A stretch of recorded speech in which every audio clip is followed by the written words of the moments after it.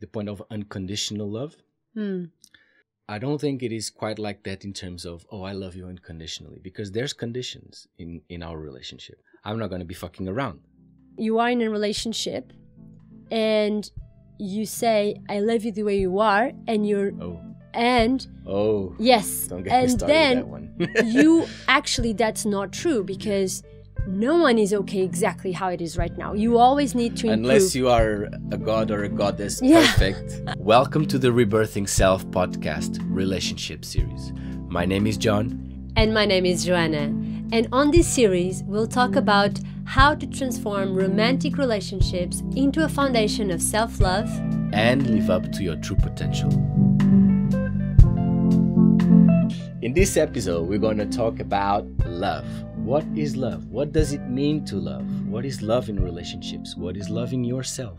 And also, and how to keep that spark alive through sex and communication.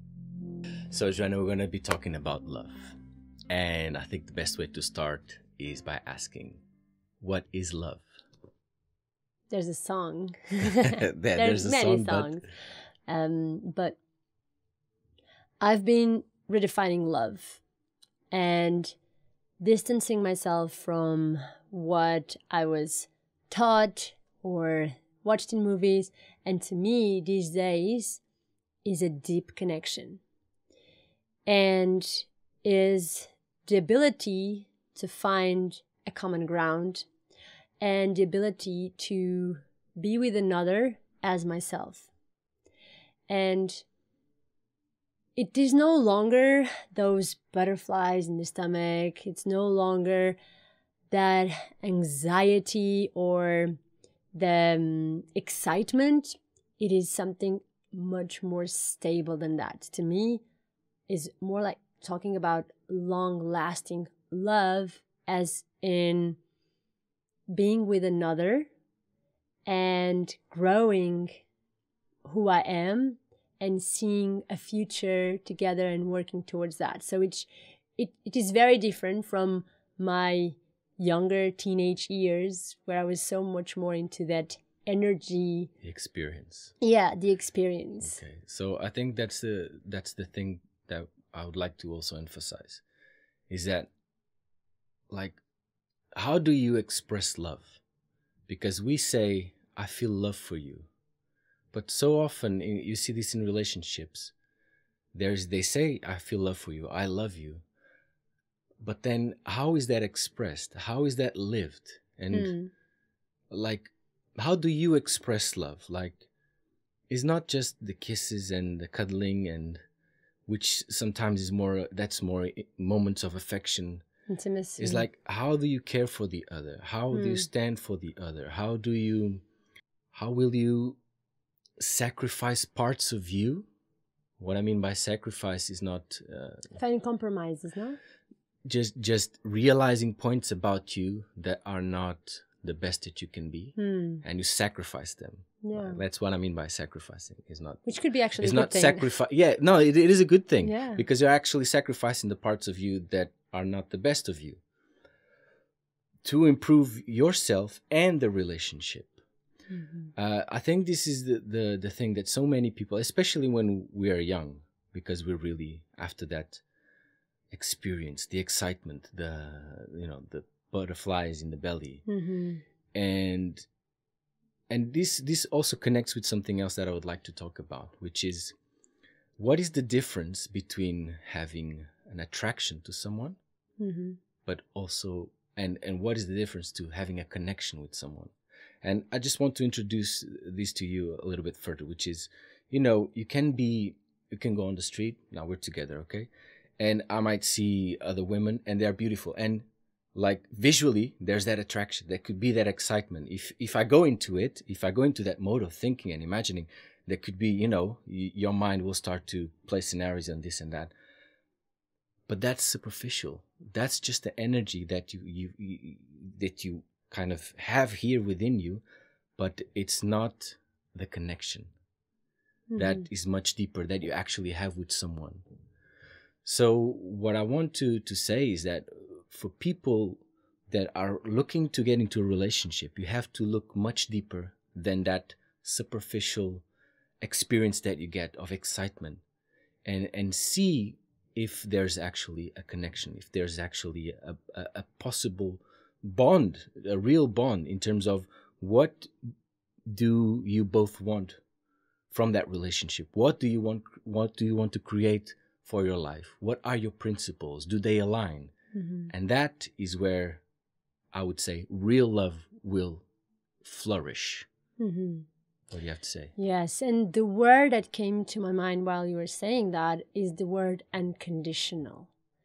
So to love another person unconditional unconditionally in the sense of not expecting the return the same way, like give as you like to receive, but sometimes how we think about love is doing things to please another person and then right the opposite of love comes Right. hate because then maybe you don't get the same way there's a, then there's a frustration there's the frustration there's a mismatch uh, there's expectations that are not met which we talked in the previous Yeah. episode and then it goes into this snowball where you lose yourself in it and the point of unconditional is the fact that is when What- you see which i mean is I like think we need to just redefine here one thing. But go on, finish. it's like things that I see us doing and being together, and there's that point of absolute trust. okay. And in the sense of there's going to be But things the trust that was created. yes, Okay. but it's like when you are not dependent on maybe those ideas that you had about what the relationship could be and you Mhm. give yourself the chance to discover Mhm. that person to discover your relationship and that's i think that love is a constant work in progress Yeah. a love as in the relationship based on that connection and and to me one thing that is really uh, taught me about love as this amazing relationship that you can have with other human beings is parenting. And i mm. know that maybe it's not the situation with everybody that is listening to us but parenting teaches you a lot about that unconditional love and giving without expectation and receiving in totally different ways that you didn't expect. And and in, and it's actually the connection with human beings. You can feel well be in love mm. with a partner love with your parents with your children but i think it's this ability that we have to care for each other and to expand Mhm. who we are and our world Mhm. in this uh, Yeah, relationship yeah. I think there's a few things that I want to, I think is important to clarify, which is, first of all, when it comes to children, yes, there is that love, there's that deep connection with with the child, with your son or daughter. But there's also the responsibility, Mhm. and I think, and I, I think the responsibility is is even it must be above the love. It must be above the liking or disliking your child, because you brought this child into the world and it is your responsibility. Like that must be i don't care if you like it or not. No but i don't care be, if you're tired or not. I don't care if in that moment you don't love your child. You have to be responsible and you have to do what you have to do to care for, for the child. but responsibility could be an act of love being Yes, okay, responsible for okay, another that's how i see it okay but, which brings me to the point of how we're going to redefine it and but stepping back a little bit the point of unconditional love Hmm. I don't think it is quite like that in terms of oh I love you unconditionally because there's conditions in in our relationship, right? There are conditions. Yeah. I'm not going to be fucking around. Do you know what I mean? Because that's a condition. Like we're Yeah. together, we're together. It's not we're together and I can go there and you can go there. No, that's that yeah that's that's yeah, a deal breaker. So there are conditions to our relationship. but when, once those conditions are I mean, i'm not talking about those okay but in the that's I other mean. level you but know that's what I mean when you say because the relationship there are conditions for us to be in a relationship and we have to our condition is our agreement our agreement is this is the condition this we have decided to stick by these principles and walk this Mhm. and to support ourselves and each other to be the best that we can. That's the agreement. That's the the condition right? And i think a lot of people a lot of people in relationships uh, they have that thing of oh i love you so much and it's the feeling that draws them together. But there's so many problems in the relationship. There are there are things that is just unacceptable.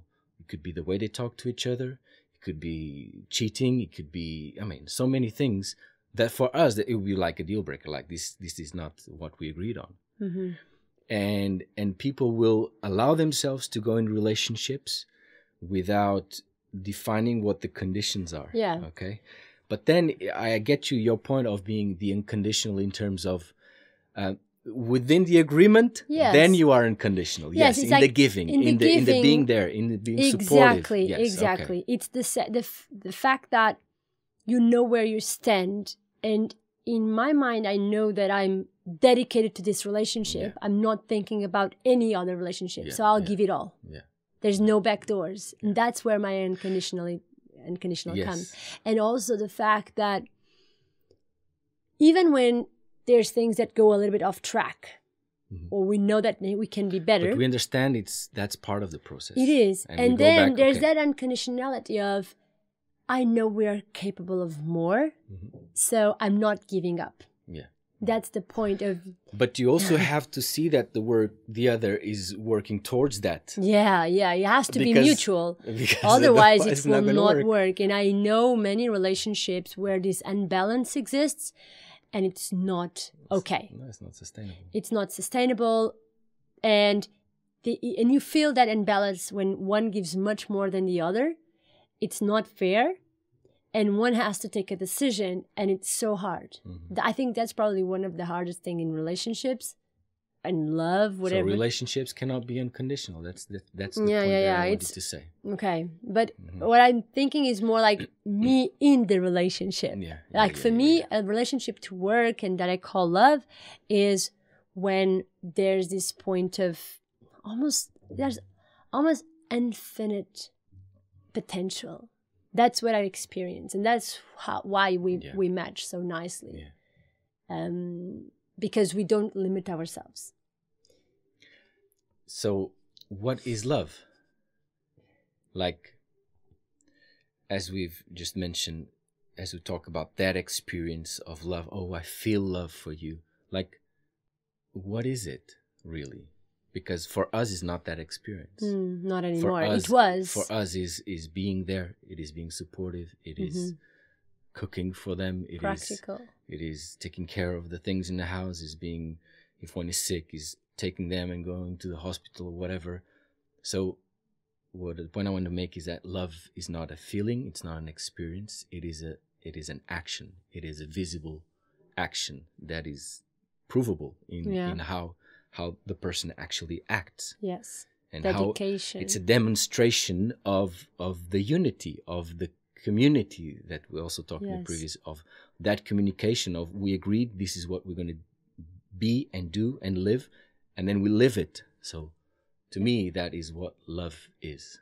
It's not the Mhm. experience it's not the Mhm. singing the song and oh i love you so much but then they have a, a feeling and experience for another girl or another man and then ooh sorry oh i love him as well. Uh, sorry just going Yeah. going and going by the motions of, of that and it's how people are you are programmed in a way you're Mm-hmm. programmed to like certain type of girls i mean some, some other type of men um, and that's how our upbringing depending on how society depicts this whole thing of relationships so we have that natural tendency to and i think that's the, there's this working work internal that each one has to ta to do which is a self development yeah and love and is that. any is actually- relationship yeah. and, is that. and it's simple process. because you just don't don't go there. Yeah. You have a thought you just no. You you look okay you look but you don't and imagine. Probably you don't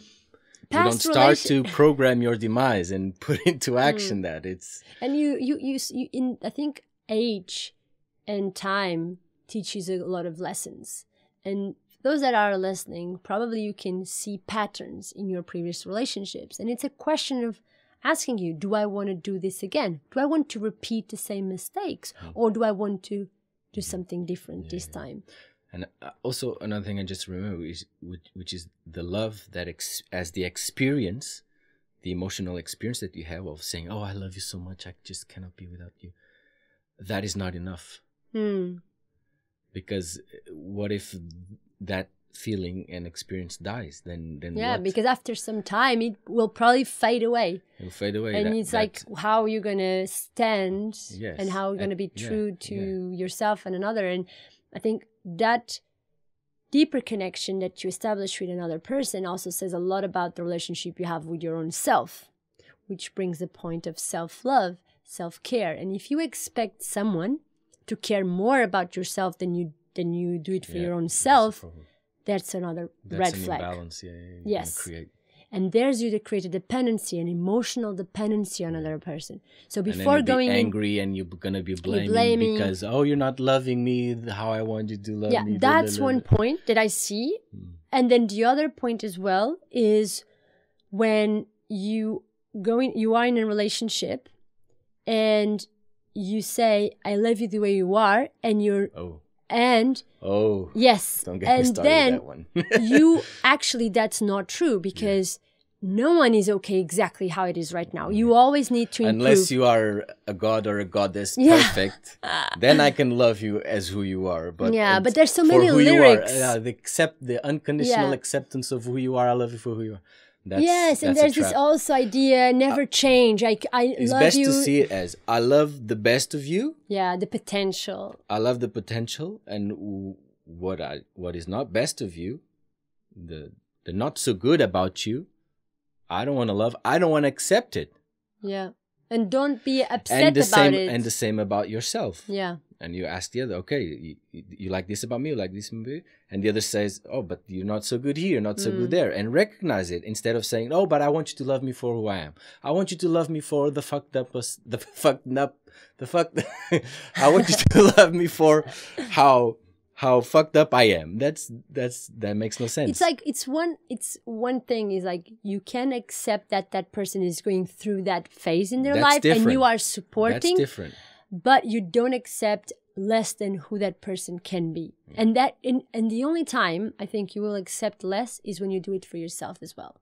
When you are Mm. not being the best of you, you will not push the other person. And then Yeah. you f- see couples that get stuck Mhm. in their own personal lives, Because purposes. they're both accepting less of themselves. Yes, and then and then you feel that if you're going too far, then you're gonna left the other behind. Yeah. So it's like you're pulling each other into and that's also one reason why many relationships actually also end Yeah. because one of the the persons in the relationship actually starts to do some work on themselves and the other isn't and then there's the rift starting Again. to happen and come on you're not coming uh, Yeah. I, I just cannot stay and it, well it it does make sense yes. like and there's so many. I was thinking there's so many lyrics that actually play in like weddings, like "I love you just the way you are, never change," and it's it's actually not true. It's like if you do that, then that's a problem. And it's not saying that we need to. It's not being hard on each other or not caring for each other. is actually the opposite. Yeah. It's like looking at you, like saying, it's actually loving them Yes. if you look at yourself, like imagine that in 20, 30 years' time, we would have the same arguments that we have today. Yeah. That is a problem. That's a red flag. I don't want that to happen. stuck there in You need to evolve in the know, relationship. past 18 yes. years old So, and, and that's like if you look in those terms, then yes, that makes sense to have that conversation now. Let's let's have those tough conversations because that will bring us so much more in what we can be and what we can do and achieve in our lives. Um, so yeah, it's like those red flags that I see, and I and I think people are even more I more and more aware of themselves and the relationships. But I still see a lot of couples, friends of mine, that go into these traps, and it's important to to realize you can do things differently. So, what do you have to say about those that are looking for the one, finding Yeah. the one? How do you go about that? The desire, Mm-hmm. Well, the idea as well. sometimes you are actually already in that relationship. The potential is already there. But there has to be the conversation and that And the commitment that the- of both of both. to be the one for each other. Yes. yes and, and to not just um, pretend that everything is okay and let time take over I would say that there is no the one. There are many the ones. Mm. There are many potentials. Only if they actually got their act together. hmm Like, I'm sure I and you, you could be with many other men, and I could be with many other women and have for as match long for as long and and be good and create an amazing Yeah. life and relationship for as long as we were to stick to the principles of bettering ourselves of Yeah. going into the relationship and and see and understanding that the relationship is going to be a mirror of the Yeah. things that we have to face to better ourselves and actually work to towards that goal Mhm. and in that sense many people would be the one Mhm. so the question is not, uh, am I going to find the one? No. Are you going to go into a relationship to create the one? The one relationship, one rela- not yes. the the one person that is going to be. yeah the it will be fulfill very you. I mean, imagine these seven billion people in the world, and then there's one person that you could match with. I mean, that would be Yeah, nonsense, you know. crazy. And it's good that it's not like that because you could have really good relationships with friends and business partners, you know. So these kind of relationships and agreements can have. It's beyond just this couple, Oh, yeah. parent, uh, a partnership, marriages Because that you should more, do an that- agreement with a partner a business partner that is so important as well Obviously, the relation, the intimate relationship, Yeah. the romantic relationship. There's other aspects to Mhm. uh, what comes from it. yes the sex, the intimacy, the children, Yeah. being together, living together. So that's a dynamic that has to be worked out and and and improved. and it's very specific and expand. Is very specific to having Yeah. that with just one person.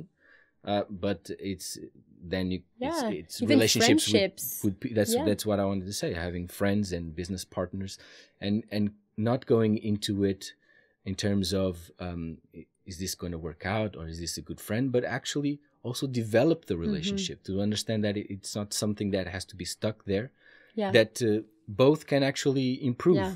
the relationship, and when there's friction in relationships. I Mhm. mean, I've I've I've noticed on um, a few videos that I've watched of, especially women, that um, it's really traumatic even for some the fact that they had a really good friendship with another with a female friend hmm and for some reason they broke the relationship they couldn't they stopped talking to each other they disconnected and that was like hard for them because Mm-hmm. there was a connection there they were good friends for many years and some fight whatever and the relationship broke Mm. so that's also another point of looking into yourself in the mirror of that relationship Yes. and seeing how you can actually improve and what went wrong in that relationship. and learn from it what is the forgiveness that is needed what was the self-honest point that was missed where was the deception where were the lies and Mhm. and you know you could always come back together if you can get back to that point of forgiveness and yeah but those are i and think that's those love are that's love That well. is, and In those are the challenges. I think it's that hard. The hardest part is when you are facing yourself, especially when you're facing old habits, old patterns. Mm-hmm. Like a an example, my relationship with time, and I think I don't know if we covered that last episode, but like. My family, we are not very. We don't Punctual. stick with punctual. Punctuality is not our biggest um, strength um, and with you it's different so since we're t- ever since we got together that i had to push myself to actually be punctual and to be on time and i and those are pro those are usually the our arguments are based on that is when i Yeah. say that i'm going to be at there at a given, a given time and i'm not there and then this whole thing starts so i have to face myself in these old habits of mine every time Yeah. and it's like that point that's hard and you will find many different examples where when you are in a close relationship with a Mhm. person and you go past that superficiality Yeah. then these Start are the points the that you prob- need yeah. to change and it will take the ego it will take time effort dedication and. And but there comes also the everything the good out of it Yes. is when you actually realize wow i didn't know i could be punctual. Oh Mm. it actually feels good. Wow what a relief. I can be there before actually the time and i can make so much more. And my and i am actually not better at doing what i'm supposed to be doing because i don't have that stress over Yeah, me yeah, anymore yeah. or the pressure. Yeah, yeah, so you find new things about yourself. Yeah, yeah, and that's where you want to go yeah. so this there are other examples, but um, that to me is like don't give up when things get harder because that could be the the flipping side is Yeah, when yeah. you go actually you go past the like picking up the surf when you go and you get all this big waves but then you actually go past the um, how do you say it in arrebentação It's the surf, the wave breaking. the yeah, wave breaking how you pass that and then it's like smooth waters and you can Yeah. actually enjoy Yeah, but you have to yeah, yeah. Paddle, Paddle. paddle, paddle, paddle. yes Yeah. Before I continue, I just want to make a quick announcement regarding the book that I'm just about to finish, which I hope to release sometime in December, about this process of rebirthing the self. So if you're enjoying this video, if you're enjoying this podcast, uh, this book is is all about this and and much more. So you're gonna get a lot of value from it. Therefore, uh, just make sure to follow me on YouTube or Twitter or on Instagram for the updates of the book. Okay, back to the podcast. I would like to go into the next point, which is how to keep the flame alive.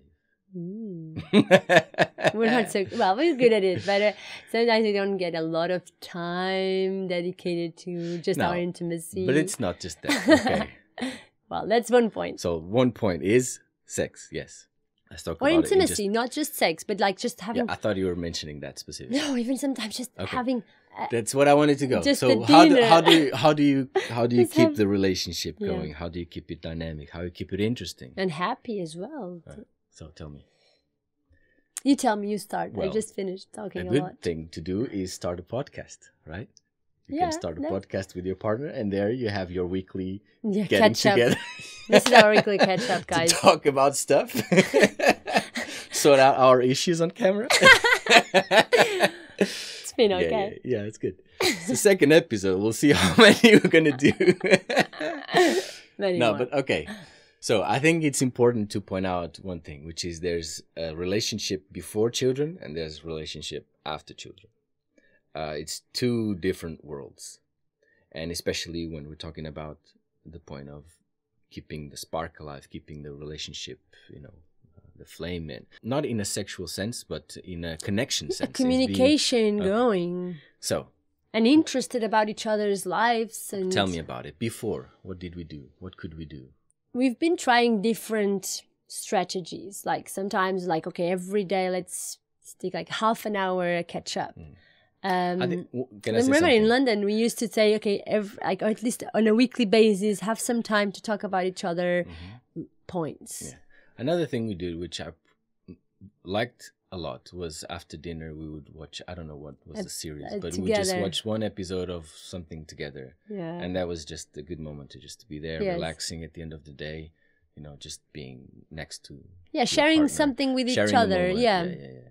Now with children for me it's important when we have the time just the four of us because we tend to do a lot of things. Like when i'm with the kids you're working. When you are the kids i'm working. So it's important to have like maybe saturday morning or sunday morning just the four of us doing something together like we've been doing.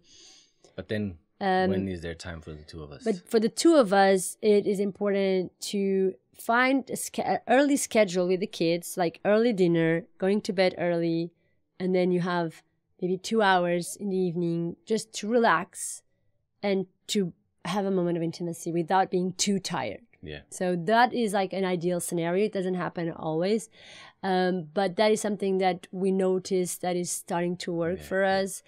Uh, but it also depends. now with, with Bernard going to school. Yeah, and also depends the age. Depends on the age of the children, of course. If they're too baby, you cannot do this. But um, I, think it's important to keep the interest alive. As in, I'm interested in what you do in your own day to day professional career, and you as well. In terms of asking me, okay, how was your day? How are you? Or sometimes you don't even have to ask. You notice that the other person Mm. is being a little bit rough. Maybe you're talking a little bit louder to the kids, and you might ask, "Hey, How was your is, day? it, is everything okay? What happened? Yeah. Because I notice you're different." So that to me is a point of doing that regular catch up. I mean, it's not like every time you see, "Oh, how are you? What's going on?" Mm-hmm. No, but it's more. There's an interesting thing, especially with women. I think we are a little bit more outspoken. So sometimes I say to Jean, "Hey, how was your day?" And then he asks me, "Hey, Joana, what do you want to tell me about your day?" Because it's more I'm asking because I want to start the conversation because I want him to say, "Hey, tell me about your day," uh, or other times I might ask, "Okay, do you have a moment to talk with me?" Because you might be busy. I know I don't want to interfere with your schedule, but it is important and to me it is very important to have that regular communication because i know you're a little bit more introverted and you deal with your own things but to me speaking with another person is almost like going to a therapist it's like just hearing hear me yourself. talking about that Yeah. it helps to have that cross reference and you Mhm. may ask nice questions Mhm. and Yeah. that is like okay i haven't thought about that okay maybe this brings an interesting perspective into what i'm going through um, but to me these days that connection I is think really this is this is interesting to Yeah. hear because the, the question is how do you keep the connection going in the relationship and from your side as, Mhm. as a female it has a lot to do with communication Mm, with yeah. talking with listen to me with uh, just ha- spending a moment to Yeah. communicate Hmm? for men or at least for me i really do see sex as like almost everything that i need in terms of of connecting with you. In terms of of um of of really feeling um attracted not attracted but that i want to be with you that i want to um not to be with you together in a relationship but spend time with you. Like yeah like that moment of intimacy that you cannot do with anybody else. Where Yes, talking you can do with anybody yes, else. Yes, and I think that looking back at times where there were longer periods of time where there was no no sex, like especially for example, most recently with with Mariana being you know the first few months after Mariana was was born, uh, there wasn't uh, there wasn't much, at, if anything at all. I don't quite remember, but but I did experience that. Uh, like almost was um, rejection it wasn't a rejection, but like I felt a bit more um, distance distant from you. Yes. Mm. Uh, so you feel as it, sex is actually the physical yes, coming together Yes, it's actually yes. the connection yes, yeah, right Yeah. but to me it it's keeps more me wanting you. It keeps me wanting to be with you. It keeps me wanting um, to have sex with you, to be attracted to you in that sense as well. Mhm. Uh, so And I I, see think that. it's really important. Yeah. I see that, but for example, for me, I will. I'm. It's really hard for me to come in to be um, very expressive in my sexual exper- uh, Expression. expression or be very present if I have things in Yeah. my mind bugging me that I Yeah. need to sort out. Mhm. Like if I'm not relaxed, it then Mhm. I, it's not the best of me. So that's why I think there's this the Foreplay. Foreplay that is really important. The foreplay could be Foreplay for Joana is a massage.